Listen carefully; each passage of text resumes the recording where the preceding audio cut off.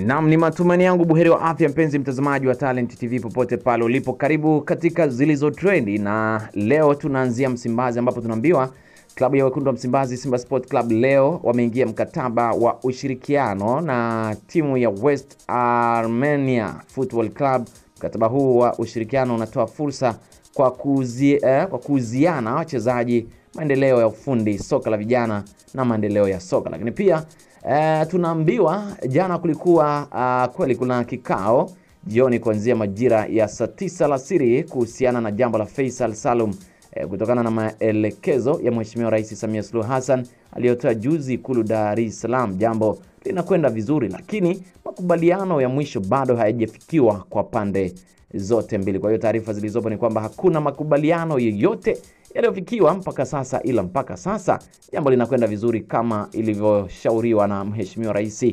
e, wa Jamhuri ya Muungano wa Tanzania Dr. Samia Suluhu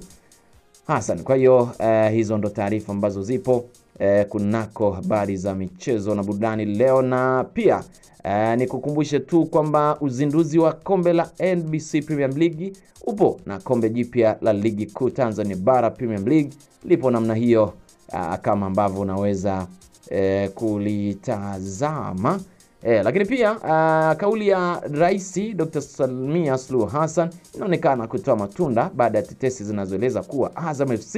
na Yanga e, wameshamalizana juu ya usajili wa kiungo Faisal Salum abdallah Feitoto. Ni muda wa takriban miezi sita kiungo huyo amekuwa na mgogoro na klabu yake ya sasa ya Yanga juu ya kuvunja mkataba wake eh, hatua iliyopelekea mshauri kadhaa ama kujadiliwa na shirikisho la soka Tanzania TFF na Yanga kwa uh, upande wa haki juu ya madai ya mchezaji Faisal Salum Feitoto. Eh, mambo yanakwenda vizuri kabisa na mambo yanaendelea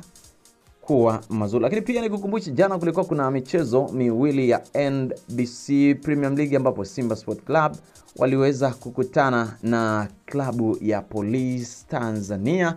ambapo hadi mchezo unakamilika ni kwamba klabu ya Simba iliweza kuibuka na ushindi wa jumla ya mabao sita kwa moja huku mabao ya Simba yakifungwa na Sadio ama Saido Ntibazonkiza eh, huku eh, magoli matano, lakini pia eh, magoli eh, la nao Polisi Tanzania wakiwa wameweza kuandika bao lao eh, kwa kuf, la kufuta machozi ikiwa kipindi hii inaenda mwisho mwisho. Kwa hiyo mambo yamekuwa hivyo bwana, nakukumbusha pia kwamba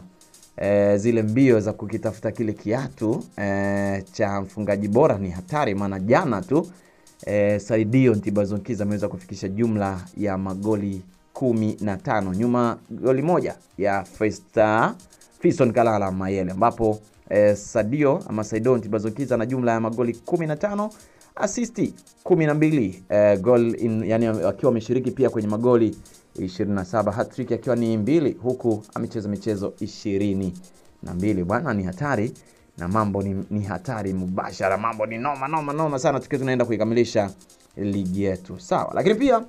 e, tukitazama tunaambiwa pia winga wa Yanga Dickson Ambundo anahusishwa na kuhamia Dodoma Jiji msimu ujao. Ambundo alijiunga na Yanga mwanzoni mwa msimu wa 2021-22 akitokea Dodoma Jiji, lakini ameshindwa kuwa na mwendelezo wa, wa kuwa bora e, mwendelezo wa ubora wake na mara nyingi kuishia benchi, jambo ambalo uongozi wa Yanga e, haupo e, wa Jangwani hao panga kuachana naye huku Dodoma ikitajwa kumhitaji.